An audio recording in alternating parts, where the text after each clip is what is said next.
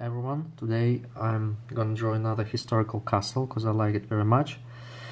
and uh, as you can see I'm on my way to draw um, the construction